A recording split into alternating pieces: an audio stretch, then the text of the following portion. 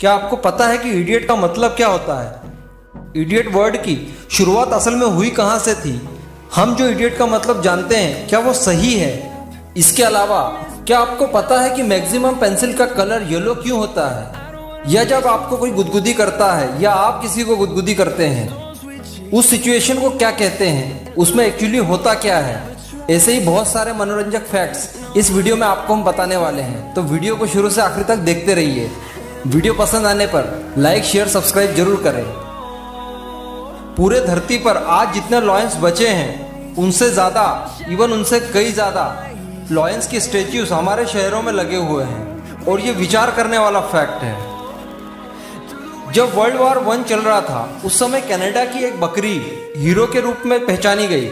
Actually जब bomb blast होने वाला था, उससे ठीक पहले, उस बकरी ने तीन सैनिकों को अपने सिर से मारकर एक खाई में धक्का दे दिया, जिससे उन सैनिकों की जान बच गई और बकरी को लोग हीरो मानने लगे। अगर आपकी एज 19 साल और चार दिन है, इसका मतलब आप 10 मिलियन मिनट से इस दुनिया पर मौजूद हैं। यानी आपकी एज मिनटों में 10 मिलियन मिनट्स है। इतने मिनट से आप इस धरती पर एग्जिस्ट कर रहे हैं। अफ्रीका के एक डिप्लोमेट एल यासुके जब पहली बार अपनी जापान के दौरे पर गए, उससे पहले कोई भी अफ्रीकन कभी जापान नहीं गया था और ना ही जापानीज ने कभी अफ्रीकन को देखा था। तो यासुके जब जापान पहुँचे तो पहले लोग बहुत शॉक्ड हुए। वे इस बात से परेशान थे कि कोई व्यक्ति क्या सच में इतना काला हो सकता है? इतना ही नहीं, जापान से बहुत बड़े बड़े राजा आने लगे और उन लोगों ने यासुके को नहलाया और उनकी स्किन साफ़ करने की कोशिश की। उन्हें यह लग रहा था कि ये यासुके अपनी स्किन पर काले रंग से पुताई करके आया है। लेकिन जब बाद में उन्हें पता चला कि ये कलर एक्चुअल है, तब भी वे बहुत सरप्राइज्ड थे। हालाँकि बाद में वे सारे लोग यासुके के फ्रेंड बन गए। फायर फ्लाइज तो आपने देखे ही होंगे, यानी जुगनू। लेकिन क्या आप ये जानते हैं कि फायर फ्लाइज को आधुनिक इलेक्ट्रिक बल्ब से ज़्यादा स्किल्ड लाइट प्रोड्यूसर माना जाता है? क्योंकि जुगनुओं के अंदर जो लाइट होता है, वो उनका खुद का होता है। वे किसी और सोर्स से उस लाइट को नहीं लेते।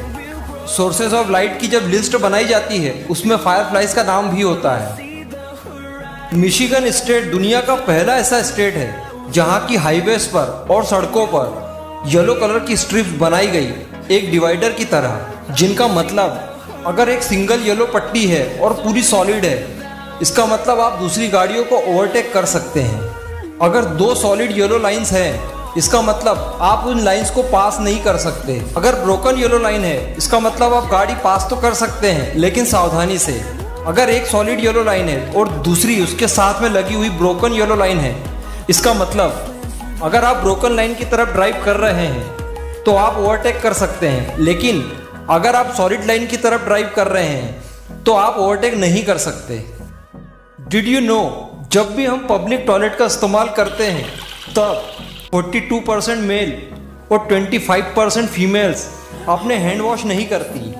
कई लोगों का यह मानना होता है कि पब्लिक टॉयलेट में मौजूद वॉश बेसिन बहुत गंदा होता है, जिससे हाथ धोने पर हाथ ज़्यादा गंदे हो जाते हैं।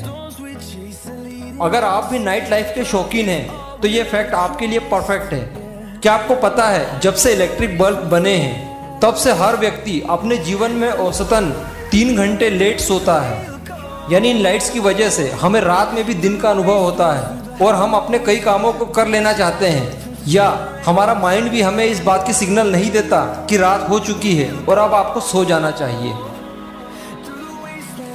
Did you know the importance of your boyfriend and husband in your life अगर आप एक महिला हैं या लड़की हैं तो आपके जीवन में आपके हस्बैंड और आपके बॉयफ्रेंड का बहुत बड़ा इम्पैक्ट पड़ता है। जब भी आप टेंशन में होती हैं जब भी आप किसी चीज़ से परेशान होती है, ऐसे समय में जब भी आपके पति या आपके बॉयफ्रेंड आपके नज़दीक आते हैं तो आपका माइंड उनकी गंध महसूस करके और बहुत रिलैक्स फील करता है। यानी वो अपनी हेल्प आपके लिए करें, इससे पहले ही उनकी गंध ही आपको उस टेंशन से आधा मुक्त कर देती है। बहुत सारे लोग अपने डेली जीवन में इडियट शब्द का इस्तेमाल बहुत करते हैं। कई लोगों का तो तकिया कलाम बन गया है। बार बार, छोटी छोटी बात पर लोगों को इडियट कहना। आप भी बोलते ही होंगे। लेकिन क्या आपको पता है इडियट वर्ड एक्चुअली आया कहाँ से? और इसका मतलब होता क्या है? पहले मैं आपको ये बता दूँ कि इडियट का मतलब वो नहीं होता जो हम जानते हैं। इडियट वर्ड ओरिजिनली ग्रीक का एक शब्द है। और ग्रीक के लोग इडियट का इस्तेमाल उन लोगों के लिए करते थे जो पॉलिटिशियन नहीं है। और बाद में इसका प्रचार दुनिया में हुआ और उसका इस्तेमाल आम लोग भी करने लगे। एफिल टावर को लेकर पूरे दुनिया के लोगों में कई तरह की क्यूरियोसिटी भी है। लेकिन कई लोग जानना चाहते हैं कि इसकी लेंथ कितनी है और वहाँ तक जाने के लिए क्या व्यवस्थाएँ हैं। तो मैं आपको बता दूँ एफिल टावर के अंदर, यानी बॉटम टू टॉप आपको चढ़ने के लिए 1665 स्टेप्स चढ़ने के बाद आप टॉप पर पहुँच पाएँगे।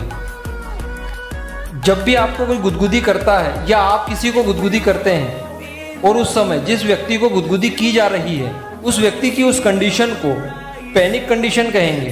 वो व्यक्ति गुदगुदी होने पर हंसता ज़रूर है, लेकिन एक्चुअली उसका माइंड गुदगुदी के उन सिग्नल्स को पेन के रूप में ले रहा है। छोटे बच्चों को गुदगुदी करने से पहले इस चीज़ का ध्यान रखें। गुदगुदी बहुत ज़्यादा पेनफुल हो सकती है। आपने नोटिस किया होगा कि दुकानों पर मिलने वाली सबसे ज़्यादा पेंसिल्स का कलर येलो होता है। इवन शुरुआती पेंसिल्स तो येलो ही होती थी। इसका कारण चाइना से जुड़ा हुआ है। एक्चुअली चाइना में ग्रेफाइट के बहुत ज़्यादा भंडार हैं। तो मैक्सिमम पेंसिल्स चाइना में बनाई जाती थी और चाइना में येलो कलर को राजसी कलर माना जाता है, यानी रजवाड़ों के थर्ड बार्ट से जोड़ा जाता है।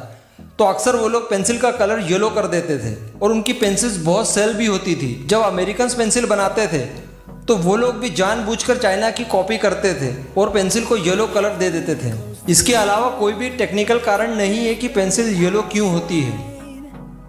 अगर आप भी वेट लूज करना चाहते हैं तो आपको डाइटिंग करने की कोई ज़रूरत नहीं है। इवन आपको नरिशमेंट वाला खाना खाने की ज़रूरत है। इसके अलावा आपको मॉर्निंग ब्रेकफास्ट करना बहुत ज़्यादा ज़रूरी होता है। क्योंकि मॉर्निंग ब्रेकफास्ट मेटोबॉलिज्म को रोकता है। क्योंकि मेटोबॉलिज्म ही आपको मोटा करने के लिए रिस्पॉन्सिबल होता है। इसलिए डाइटिंग के चक्कर में मॉर्निंग ब्रेकफास्ट मिस ना करें। आप दुनिया की चाहे कोई भी एक्टिविटी क्यों ना कर रहे हों। लेकिन उन एक्टिविटीज़ को करते समय आपके माइंड में मौजूद हर चीज़ एक्टिव नहीं होती है। यानी पर्टिकुलर एक्टिविटीज़ को लेकर जो भी रिस्पॉन्सिबल चीज़ें हैं आपके माइंड के अंदर, सिर्फ़ वही एक्टिव होती है। लेकिन लिसनिंग म्यूज़िक एकमात्र ऐसी एक्टिविटी है दुनिया में। जब भी आप म्यूज़िक सुनते हैं, तब आपके माइंड में मौजूद हर एक सेल्स हर एक वेव एक्टिव हो जाती है। यानी माइंड की एक्सरसाइज कराने के लिए आपको म्यूज़िक सुनना बहुत ज़रूरी है। आखिरी फैक्ट इतना अच्छा है कि आपको मज़ा आ जाएगा। आप कहेंगे वाह क्या फैक्ट्स हैं। देखिए एक कटा हुआ गाजर आपकी आँख की तरह दिखाई देता है। यानी कैरेट की एक स्लाइस आपकी आँख की तरह स्ट्रक्चर रखती है। और ये कैरेट स्लाइसेस जब भी आप खाते हैं तो ये आपकी आँखों के अंदर ब्लड सर्कुलेशन को इंक्रीज करती है जिससे आपकी आँखें अच्छी रहती हैं। जब आप एक टमाटर को काटते हैं तो उस, उसके अंदर चार ब्लॉक्स होते हैं पूरा रेड होता है। और उसका शेप भी आपके हार्ट की तरह होता है। और जब भी आप टमाटर खाते हैं तो इस टमाटर में लाइकोपिन नाम की एक चीज़ होती है, जो आपके हार्ट से अशुद्धियाँ हटाने का काम करती हैं और आपका हार्ट प्रॉपर फ़ंक्शन करता है। इसके अलावा एक अखरोट आपके माइंड की तरह दिखाई देता है। और जब आप अखरोट खाते हैं तो ये आपके माइंड की वर्किंग पोटेंशियल को बढ़ाने के लिए तीन डजन से ज़्यादा न्यूरो जनरेट करता है।